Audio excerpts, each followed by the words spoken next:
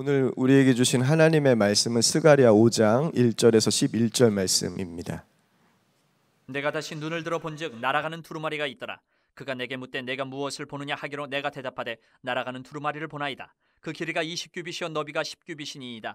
그가 내게 이르되 이는 온 땅 위에 내리는 저주라. 도둑질하는 자는 그 이쪽 글대로 끊어지고 맹세하는 자는 그 저쪽 글대로 끊어지리라 하니 만군의 여호와께서 이르시되 내가 이것을 보냈나니 도둑의 집에도 들어가며 내 이름을 가리켜 망령되이 맹세하는 자의 집에도 들어가서 그의 집에 머무르며 그 집을 나무와 돌과 아울러 살리리라 하셨느니라 하니라 내게 말하던 천사가 나와서 내게 이르되 너는 눈을 들어 나오는 이것이 무엇인가 보라 하기로 내가 묻되 이것이 무엇이니까 하니 그가 이르되 나오는 이것이 에바인이라 하시고 또 이르되 온 땅에서 그들의 모양이 이러하니라.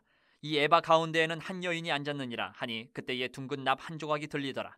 그가 이르되 이는 악이라 하고 그 여인을 에바 속으로 던져넣고 납 조각을 에바 아기 위에 던져 덮더라. 내가 또 눈을 들어 본즉 두 여인이 나오는데 하게 날개 같은 날개가 있고 그 날개에 바람이 있더라. 그들이 그 에바를 천지 사이에 들었기로 내가 내게 말하는 천사에게 묻되 그들이 에바를 어디로 옮겨가나이까 하니 그가 내게 이르되 그들이 신할 땅으로 가서 그것을 위하여 집을 지으려 함이니라 준공되면 그것이 제 처소에 머물게 되리라 하더라 아멘. 하나님의 말씀입니다. 아, 오늘은 스가랴 선지자의 여덟 가지 환상 중에 여섯 번째 환상, 날아가는 두루마리 환상과 일곱 번째 환상, 에바 아, 속의 한 여인의 환상을 우리가 살펴보겠습니다. 아, 오늘 5장에 기록되어 있는 두 환상은요, 어, 지금까지 우리가 살펴본 환상과는 좀 분위기가 다릅니다. 이전에 다섯 가지 환상은 성전 재건을 시작한 이스라엘 백성 그리고 대제사장 여호수아 그리고 수르바벨에게 하나님께서 허락하시는 격려와 위로의 메시지였다면 어, 오늘 나온 어, 두 환상은 어, 하나님은 반드시 죄를 심판하시는 분이시다라는 것을 분명히 보여주는 아주 무서운 환상이기도 합니다. 그래서인지 오늘 새벽 말씀 걸 준비하고 제목을 정하면서 다른 어느 때보다 많은 기도와 고민이 되었습니다. 결국 오늘 환상의 분위기를 어, 가장 잘 표현한 어, 구절이 있어서 그 구절을 어, 오늘 말씀의 제목으로 삼았는데 그 구절이 3절에 나옵니다. 이는 온 땅 위에 내리는 저주라. 온 땅 위에 내리는 저주가 바로 날아가는 두루마리를 의미합니다. 16년 동안 성전 건축을 중단한 이스라엘 백성을 다시 예, 성전 건축을 예, 시작하게 하신 것은 하나님께서 참 잘 하신 일이죠. 어, 그런 그들에게 위로하고 어, 격려하는 것은 어쩌면 당연한 일입니다. 그런데 왜 격려로 오늘 환상이 딱 다섯 가지의 환상으로 끝났으면 너무 좋았을 것 같은데 어, 여섯 번째, 일곱 번째 환상에 왜 무서운 심판을 다시 예, 보여주시는 걸까요? 어, 성전 건축한 일은 참 잘한 일이었지만 어, 그들의 일상은 하나님과 함께 할 수 없다 고 생각할 정도로 참 심각한 상태였습니다. 그 심각한 상태를 6절 말씀에서는 이렇게 표현합니다. 온 땅에서 그들의 모양이 이러하니라. 온 땅에서 그들의 모양이 이러하다라는 것은 이제 에바 속에 담겨져 있는 한 여인의 환상 속에 나오는데 에바 속에 담겨져 있는 한 여인은 악을 상징합니다. 온 땅이 악으로 가득 찼다라는 하나님의 메시지입니다. 여기 계신 분들 중에 하나님께 저주를 받고 싶으신 분은 한 분도 없을 겁니다. 그리고 저는 분명히 확신하지만 하나님을 하나님도 여러분을 저주하고 싶은 마음은 없습니다. 어, 정말 저주하고 싶다면 예고 없이 그냥 저주하면 됩니다. 그런데 하나님은 어, 저주의 심판을 보여주시기 전에 꼭 어, 미리 예고하시면서 경고하시면서 돌이킬 시간을 이스라엘 백성에게 주셨습니다. 왜냐하면 하나님은 사랑의 하나님이시기도 하지만 공의의 하나님이십니다. 아, 그래서 악을 그대로 방치해 두실 수 없으시는 분이셨어요. 그래서 이스라엘 백성들의 죄를 드러내시고 그의 죄의 대가가 무엇인지 분명히 보여주시기 위해 두 환상, 거대한 두루마리를 하늘 위에 날리셨고 음, 에바 속에 담긴 한 여인을 신할 땅으로 옮기는 환상을 오늘 우리에게 보여주고 있는 것입니다. 우리 3절 말씀 한번 볼까요? 그가 내게 이르되 이는 온 땅 위에 내리는 저주라. 도둑질하는 자는 그 이쪽 글대로 끊어지고 맹세하는 자는 저쪽 글대로 끊어지리라 하니 날아가는 두루마리는 음, 온 땅에 저주를 내리기 위해 하나님께서 사용하신 심판의 도구입니다. 여러분 두루마리는 무엇을 의미하죠? 성경 말씀, 말씀을 의미합니다. 하나님의 심판은 언제나 무엇이 기준이 돼요? 말씀이 기준입니다.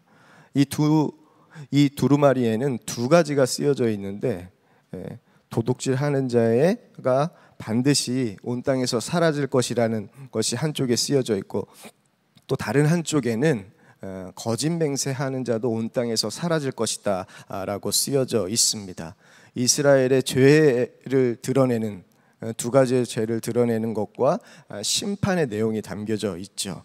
하나님께서 어떻게 죄를 드러내시고 심판하실지 사절 말씀이 구체적으로 보여주는데 망군의 여호와께서 이르시되 내가 이것을 보냈나니 도둑의 집에도 들어가며 내 이름을 가리켜 망령되이 맹세하는 집에도 들어가서 그의 집에 머무르며 그 집을 나무와 돌과 아울러 사르리라 하셨느니라 하니라.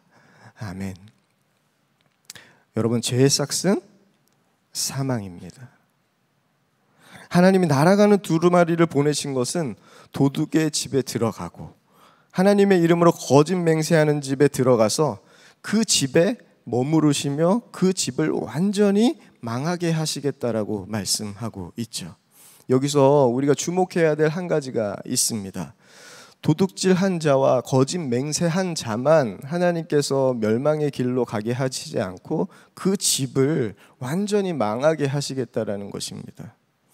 죄는요, 자신만 파괴하는 것이 아니라 가정과 내가 함께하고 있는 공동체를 파괴합니다. 그래서 내 죄의 문제는 내 자신의 문제만이 아니라 공동체의 문제로 가정의 문제가 되기도 합니다. 나 때문에 가정이 망하시길 원하시는 분 없을 겁니다. 아, 내가 죄 가운데 머무는 머물면 내 가정도 내가 속한 공동체도 죄 가운데 머물게 된다는 것입니다. 가정을 살리기 위해 모두 한 거예요. 이스라엘 백성이. 가정을 살리기 위해 이스라엘 백성이 도둑질도 하고 거짓 맹세도 한 겁니다. 그런데 악한 방법으로 사는 것은 결코 사는 것이 아니다라는 것을 하나님께서 이스라엘 백성에게 말씀하고 계시는 것이죠.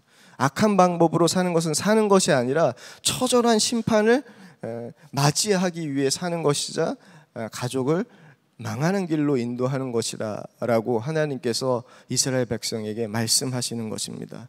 사랑하는 성도 여러분, 여러분들은 가족을 어디로 인도하고 있습니까? 망하는 길로 인도하고 있습니까? 살리는 길로 인도하고 있습니까? 날아가는 두루마리는요, 도둑질 한 자의 집과 거짓 맹세한 자의 집을 그대로 찾아갑니다. 이렇듯 죄는요 숨길 수가 없어요. 반드시 드러나게 되고 죄는 결코 시간이 지난다고도 없어지는 것도 아닙니다. 회개하지 않는 죄는 영원히 남습니다. 그래서 죄의 삭은 사망인 거예요. 죄의 삭을 피할 수 없습니다. 이 심판의 환상을 보여주신 것 이유가 있습니다. 성전 건축만이 중요한 것이 아니라 하나님께서는 이스라엘 백성이 일상에서 살아가는 그 일상에서 어, 거룩하시길 원하셨습니다. 아, 이것이 나만이 아닌 가정이 살고 공동체가 사는 길이기 때문입니다. 아, 저는 교회에서는 열심히 사역하는 목회자였습니다. 하지만 일상에서는 그러지 못할 때가 참 많았던 것 같습니다. 아, 사람들이 보는 앞에서 말씀으로 사는 것처럼 행동했던 것 같아요.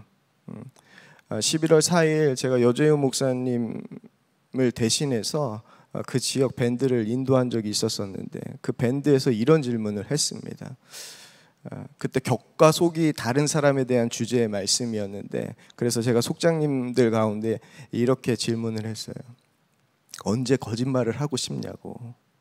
언제 거짓말을 하고 싶은 마음이 드시냐고 어, 그랬더니 어, 교회에서 어, 사람들에게 보일 때 거짓말을 하고 싶은 마음이 예, 든다는 고백을 어느 속장님께서 하시더라고요.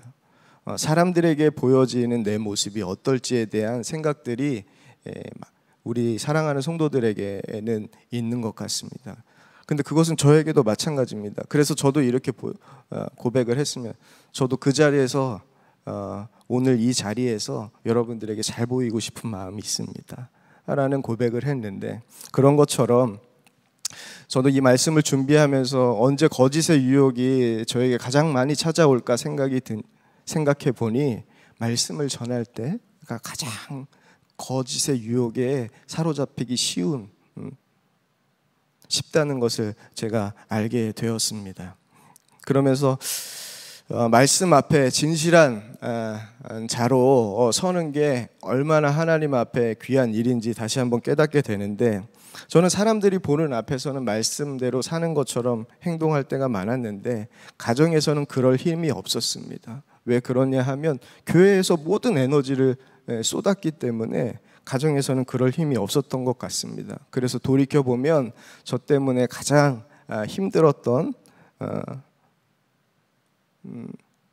사람들이 있다면 그것은 저희 가족이었던 것 같습니다. 그리고 저와 함께 했던 교회 공동체였던 것 같습니다.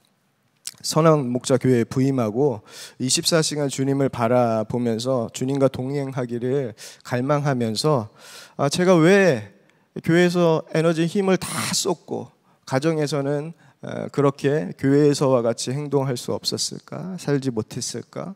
그리고 다른 바깥에서 삶은 그렇지 예, 않았을까 아, 생각했을 때 하나님께서 두 가지 이유 때문이었다라는 것을 깨닫게 하셨는데 첫째는 나는 죽고 예수로 살지 않았기 때문입니다.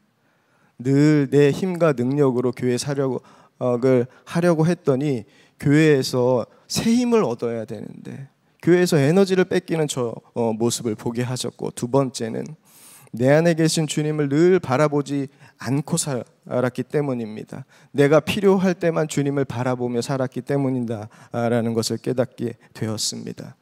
아, 주님을 의식하며 어, 살기로 하면서 아, 하나님은 그동안 수없이 내가 아, 주인 되어 살면서 끊임없이 하나님의 역사를 도둑질하며 살았다는 것을 알게 하셨습니다. 내 힘과 능력으로 했으면서 하나님이 하셨다고 고백하며 거룩하게 저를 포장하며 어, 살았다는 것도 알게 하셨습니다. 늘 주님을 바라보며 살아가길 소망하는 어, 저를 통해서 하나님은 어, 그렇게 하나하나 많은 변화들을 저에게 허락해 주셨는데 그런데 여전히 주님을 바라보지 않고 주님을 의식하지 않으면 제가 쉽게 넘어지는 것도 어, 보게 하셨습니다. 그런데 예전과 다른 음, 점이 있다면 어, 결코 일상에서 어, 주님 바라보는 것을 가볍게 여기지 않는다는 겁니다. 이 마음으로 살아가면서 저에게 찾아온 두 가지의 변화가 아, 있는데 첫 번째는 죄의 문제를 가볍게 여기지 않게 되었다는 것이고 내가 언제든 넘어질 수 있는 아주 연약한 존재라는 사실을 늘 인식하며 살아가게 되었다는 겁니다. 그러면서 데살로니가 전서 5장 22절의 말씀처럼 악은 어떤 모양이라도 버리고 싶은 마음이 제 마음에 늘 가득하고 아 진짜 거룩한 자로 어, 살고 싶다. 진짜 거룩한 예수의 사람으로 어, 예수만 내 안에서 나오는 예수로 사는 삶만 살고 싶다는 갈망이 더 일어나는 것을 경험합니다. 사랑하는 성도 여러분, 하나님은 악을 싫어하시죠. 우리도 너무나도 잘 알고 있는데 우리는 악에 노출되어 있을 때가 참 많은 것 같습니다. 일곱 번째 환상인 에바 속에 담긴 한 여인의 환상을 보면 하나님이 얼마나 악을 싫어하는지 볼 수 있는데요. 에바는 곡물을 담는 용기입니다. 한 약 여러분들이 쉽게 생각하면 25리터에 되는 양을 담을 수 있는 용기인데 그 안에 한 여인이 담겨져 있습니다. 하나님은 그 여인을 어떻게 하실까요? 그 여인을 왜 그 용기 안에 담으셨을까요? 8절 말씀입니다. 그가 이르되 이는 악이라 하고 그 여인을 에바 속에 던져 넣고 납조가를 에바 하기에 던져 덮더라. 어, 하나님은 그 여인을 악이라 말씀하셨습니다. 이스라엘 전체의 악한 모습을 상징하고 있습니다. 하나님 그 여인을 에바 속에 던져 넣으셨어요. 음, 하나님의 악을 대하는 태도이십니다. 그리고 더 이상 그 악이 나오지 못하도록 어, 납조각으로 그 악의를 덮으셨습니다. 그리고 여기에서 끝이 아니죠. 9절부터 11절을 보면 하나님은 악을 담고 있는 에바를 날개 달린 두 여인을 통하여서 어, 신할 땅으로 옮기십니다. 이것이 하나님께서 악을 대하는 태도입니다. 하나님은 악을 제거하시는 분이세요. 하나님이 우리와 함께 하시면 분명히 우리와 함께 하시면 악은 우리의 삶 가운데 던져지게 됩니다. 악이 싫어지게 되고 결국 악이 우리의 심령에서 떠나 옮겨지게 되죠. 그 악이 떠난 자리에 임하는 것이 바로 하나님의 나라입니다. 하나님은 우리가 저주가 아닌 하나님의 나라와 기쁨과 평화가 아, 우리의 심령 가운데 있길 원합니다. 아, 그 길을 걷기 위해서 우리가 해야 할 일이 늘 주님을 바라보는 것입니다. 늘 주님을 우리를 온전케 하시는 주님을 바라보는 것입니다. 그러면 일상에서 우리의 죄가 떠나가고 어, 죄와 저주가 떠나가고 그 자리에 하나님 나라가 임하는 은혜가 우리에게 찾아올 겁니다. 오늘 이 시간 우리가 말씀을 붙잡고 기도할 때 정말 우리의 악이 떠나가길 기도했으면 좋겠습니다. 아, 그리고 우리가 정말 죄를 가볍게 여기지 않길 기도했으면 좋겠습니다. 그리고 나 때문에 우리의 가정이 망하는 길로 가지 않길. 나 때문에 우리 가정이 망하지 않고 살리는 길을 갈 수 있도록 우리가 함께 기도하겠습니다. 우리 첫 번째 기도할 때 사절 말씀 붙잡고 기도하겠는데요. 만군의 여호와께서 이르시되 내가 이것을 보냈나니 도둑의 집에도 들어가며 내 이름을 가리켜 망령되이 맹세하는 집에도 들어가서 그의 집에 머무르며 그 집을 나무와 돌과 아울러 사르리라 하셨느니라 하니라. 우리 첫 번째 기도할 때 우리와 우리 가정을 위해서 기도하겠습니다. 내 죄로 인해 가정이 저주받지 않게 하시고 나 내 거룩함으로 우리의 가정이 하나님 나라의 복을 누리게 하소서. 정말 우리를 통하여서 하나님 망하는 길이 아닌 살리는 하나님의 역사가 하나님 우리 가정 가운데 임하게 하여 주시옵소서. 우리 함께 기도하겠습니다. 아버지 하나님, 하나님 우리의 죄 때문에 하나님 우리의 강한 우리의 가정이 정말 악한 길로 가거나 망하는 길로 가는 일이 없길 원합니다. 하나님 내 죄로 인하여서 우리의 사랑하는 가족들이 악한 길로 들어서는 일 없게 하여 주시옵소서. 내 죄로 인하여서 우리의 가족들이 하나님을 외면하는 일이 없게 하여 주시옵소서. 하나님을 거부하는 일이 없게 하여 주시옵소서.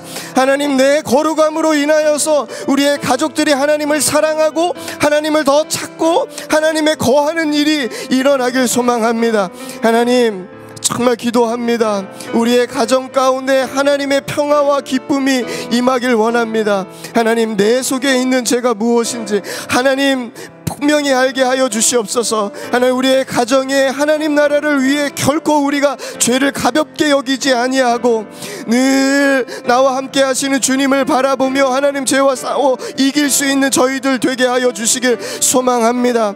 하나님 정말 악은 어떤 모양으로도 버리게 하여 주시고 하나님 거룩함을 이루며 하나님 나라가 하나님 우리 안에 하나님 임하게 하여 주시고 우리의 가정 안에 임하게 하여 주시고 우리의 공동체 안에 임하게 하여 주시길 이 시간 간절히 소망합니다. 하나님 정말 우리가 죄 에서 하나님 벗어나 하나님의 승리를 경험할 수 있도록 하나님 우리를 지켜주시길 소망하고 우리의 가정을 하나님 그 승리의 길로 하나님 생명의 길로 하나님 이끄시는 그 주님을 하나님 신뢰하며 나아갈 수 있는 저희들 되게 하여 주시길 소망합니다. 아버지 하나님 오늘도 우리가 하나님 우리의 가정을 위해서 하나님 나를 위해서 기도할 때 하나님 우리의 심령이 더더 주님과 함께 더 주님과 함께 나아가는 시간 되게 하여 주시고 주님과 한 걸음 걸어갈 수 있는 힘이 우리 안에 임할 수 있도록 주님께서 인도하여 주셔서 하나님 우리의 가정이 정말 하나님 나라와 같이 천국과 같은 가정을 이루는 그 은혜를 하나님 나를 통하여서 우리 가족 모두가 경험할 수 있도록 주님 인도하여 주시고 역사하여 주시옵소서. 우리 두 번째로 기도할 때 8절 말씀을 붙잡고 기도하겠습니다.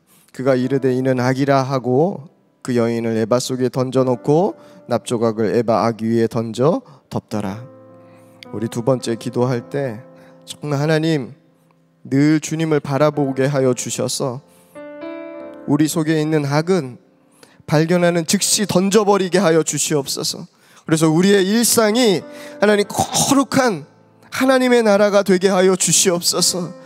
우리의 일상이 오직 주님과 동행하며 하늘의 기쁨을 맛보는 일상이 되게 하여 주시옵소서. 우리 두 번째 함께 기도하고 개인적으로 기도하는 시간 갖도록 하겠습니다. 우리 다 함께 주여 한번 부르짖고 기도하겠습니다.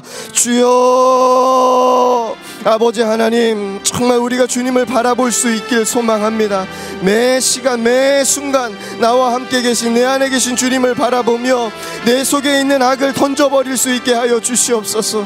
정말 걸어가길 원하시는 그 하나님의 마음이 매 순간 순간 우리의 심령 가운데 기억되게 하여 주시고 하나님 선포되게 하여 주시고 하나님 고백되게 하여 주시길 소망합니다. 늘 주님을 붙잡고 주님의 손을 붙잡고 하나님 우리를 악으로 빠지게 하는 사단의 모든 괴계를 이기며 나아갈 수 있는 저희들 되게 하여 주시옵소서.